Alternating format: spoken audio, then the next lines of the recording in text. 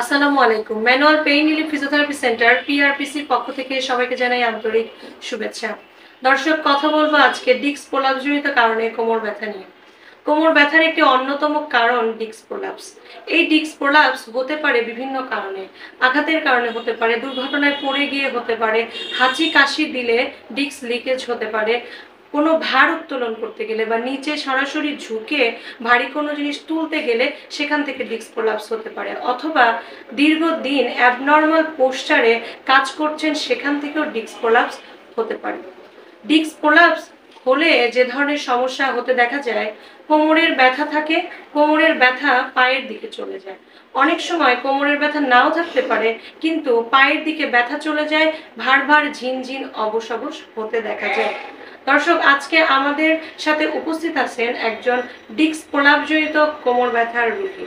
আজকে আমরা সরাসরি রোগীকে নিয়ে ভিডিও করছি আপনাদের মাঝে সচেতনতা বাড়ানোর জন্য যেন আপনারা কোমর ব্যথার কারণে বা ডিক্স প্রলাপজনিত কোমর ব্যথার কারণে সঠিক চিকিৎসা নিয়ে সুস্থ থাকতে পারেন। দর্শক, আমরা এখন রোগীর সঙ্গে কথা বলব। আসসালামু আলাইকুম। আপনি কোথা থেকে আসছেন? কোথায় আমি আমি থাকি বর্তমান সাগর নবীনগর ঢাকা নবীনগরে থাকেন। আপনি কি কি করেন? আপনার পেশাটা কি। আপনাকে কয় ঘণ্টা করে রেগুলার কাজ করতে হয়? কোন পজিশনে কাজ করেন? আপনি কি সমস্যা নিয়ে আসছেন আমাদের আমার সমস্যা হচ্ছে আমার বছর আগে আমার কোমর ব্যথা ছিল। কোমর ব্যথা চিকিৎসা দেওয়াতে কোমর ব্যথাটা ভালো হয়েছে। কিন্তু দুই মাস যাবত।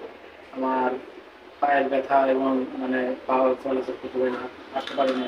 আমার অনেক সমস্যার কারণে মানে অনেক চিকিৎসা করাইছি কিন্তু চিকিৎসাটা ভালো হয় না এবং আমি কোনো রেজাল্ট পাইনি।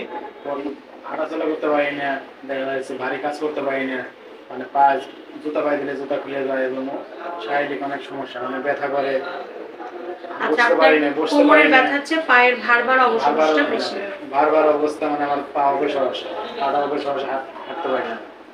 এর আগে আপনি কোনো চিকিৎসা নিয়েছিলেন? হ্যাঁ, আমি চিকিৎসা নিয়ে নিয়েছি অনেক জায়গায় চিকিৎসা নিয়েছি কিন্তু কোনো চিকিৎসা আমার ভালো হয় না এবং অনেক ওষুধপাতি খাইছি কোনো কাজ হয়নি। ওষুধ খাওয়ার পরে কি ভালো থাকেন?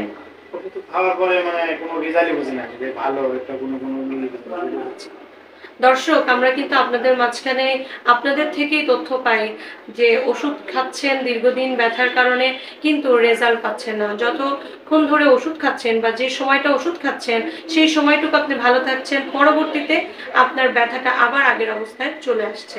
দর্শক, প্রাথমিক পর্যায়ে ব্যথা হলে ওষুধ খেতে পারেন, কিন্তু দীর্ঘমেয়াদী ব্যথার ক্ষেত্রে আপনার সমস্যার সমাধান হওয়া সম্ভব নয়। দর্শক, এই ক্ষেত্রে আপনি অবশ্যই একজন ফিজিওথেরাপি চিকিৎসকের স্বর্ণপন্ন হন ফিজিওথেরাপি চিকিৎসককে দেখাবেন। এই ক্ষেত্রে একজন ফিজিওথেরাপি চিকিৎসক আপনাকে পূর্ণ একটি অ্যাসেসমেন্ট করবে। অ্যাসেসমেন্টের মাধ্যমে আপনার চিকিৎসা শুরু করবে। এখন আপনি কেমন বোধ করছেন?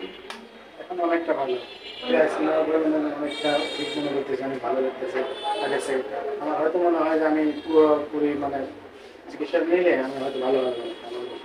এই ধরনের সমস্যা অনেকেই ভুগে থাকেন, কিন্তু তারা গুরুত্ব দেন না বা অনেক ক্ষেত্রেই বলতেই চান না তাদের পায়ের অবশ ভাব আছে বা তাদের ঝিঝি ভাব আছে।